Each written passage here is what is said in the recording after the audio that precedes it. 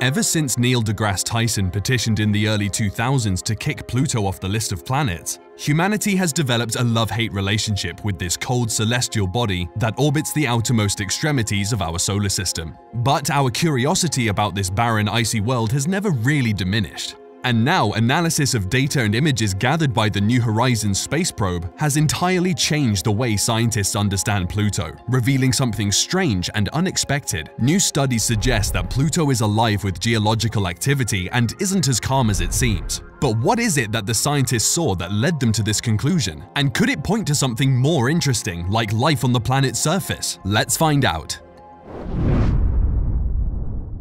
New Horizons probe New Horizons launched in January 2006 and it reached Pluto in July 2015. It flew within 12,500 kilometers of Pluto's surface. During its 13-hour-long flyby, it collected over 6 gigabytes of data and images of its surface. Since the spacecraft was roughly 4.5 light hours away, it took the scientists back on Earth over 15 months to download the data before they could begin studying it. Since then, they have been hard at work understanding Pluto's strange geology. Today, New Horizons is far away from Pluto. At a distance of 52.5 astronomical units from Earth, approximately 7.85 billion kilometers away, it is one of the farthest man-made objects in space. But its data has transformed Pluto from a fuzzy telescopic dot into a living world with stunning diversity and surprising complexity. Scientists are still conducting new research on the data sent back by New Horizons, but they have already concluded that rather than being a quiet, frozen dwarf planet, Pluto is actually very active. Pictures from the probe have revealed that it has surface features and geology not seen anywhere else in our solar system. There is evidence of floating mountains, flowing glaciers of nitrogen, active volcanoes, and dunes of solid methane ice. These discoveries have challenged planetary scientists to go back to their drawing boards and re-evaluate how the building blocks of planets form.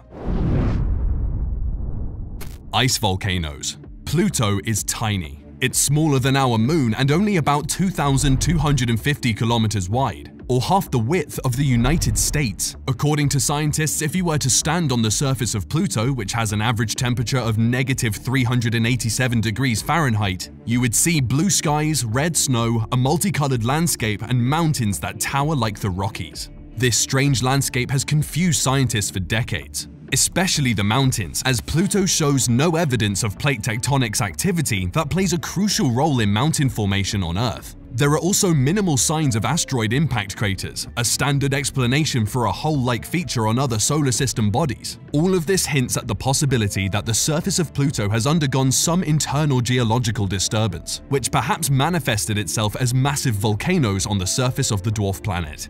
New research based on the New Horizon pictures seems to validate this possibility, as scientists have discovered two pits near Pluto's south pole that could explain its strange surface features.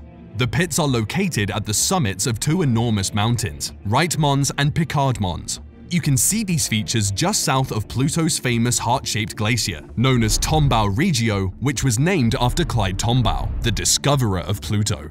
Each mountain is a few kilometers tall and about 200 kilometers wide. They have massive pits near their summit stretching over 50 kilometers across. These mountains are very similar in size and shape to the Hawaiian volcanoes, and the depressions on top seem very much like a caldera, which is a large depression formed when a volcano erupts and collapses. But instead of fiery lava, Pluto's volcanoes would spew ice, perhaps nitrogen, carbon monoxide, or a watery slurry dredged from a buried ocean. With this new theory, scientists can also explain the strange hummock-like features that dominate the slopes of both Wright Mons and Picard Mons and much of their surroundings. They believe that these hummocks were likely created by some sort of ice volcanism, known by the technical term cryovolcanism, which is erupting icy water rather than molten rock. Analysis of spectrograph data also shows that these features are made primarily of water ice rather than nitrogen or methane ice that covers some other young regions on Pluto. This seems to confirm the theory. Now, whether these ice volcanoes are still active can't be proved without further missions to the dwarf planet, as New Horizons flyby was very short to collect enough data. But still, if there are indeed ice volcanoes on the surface of Pluto, it would be the first of its kind ever discovered in our outer solar system.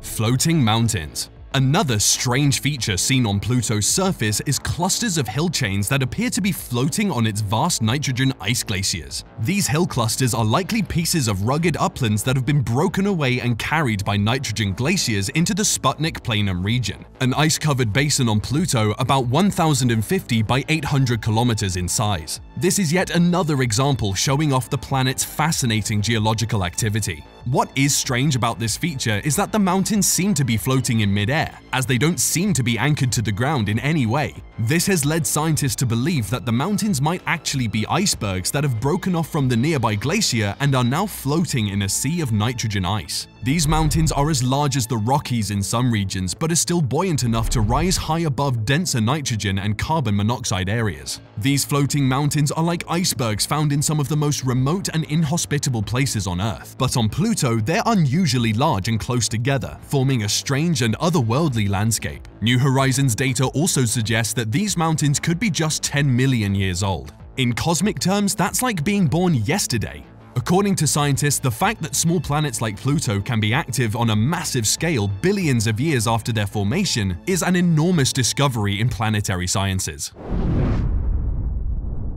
Buried oceans. New studies have also revealed that although Pluto is frigid, it may have started as a hot world that formed rapidly and violently. This suggests that Pluto may still possess an underground ocean that has existed since early on in its life. After reviewing the initial data from the New Horizon probe, it was thought that Pluto's heart-shaped glacier, Tombaugh Regio, covers a buried ocean that may be hundreds of kilometers deep. This theory was first proposed in 2016 and has been further supported by new research since then.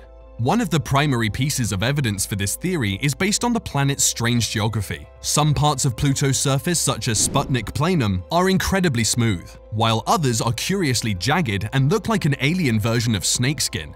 Still, other regions have enormous fractures, such as Virgil Fossa to the west of Sputnik Planum.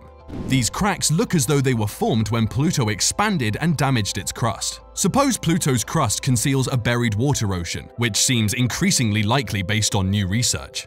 In that case, as the ocean slowly freezes and grows, it could be stressing Pluto's crust and producing this enormous mixture of strange fissures on the surface. But how has the dwarf planet managed to hold onto its liquid ocean being so far from the sun's heat?